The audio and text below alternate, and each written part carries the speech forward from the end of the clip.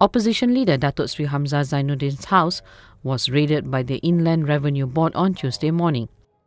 According to sources, the raid at Hamzah's house in Damansara was due to alleged unreported income taxes. It is learned that Hamzah was at home during the raid and that files and documents on accounts and asset ownership were also seized.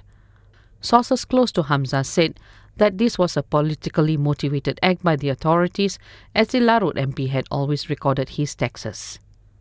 The source also said the Inland Revenue Board did not specify in detail the reason for the raid on whether or not it was regarding taxes involving a company or some projects.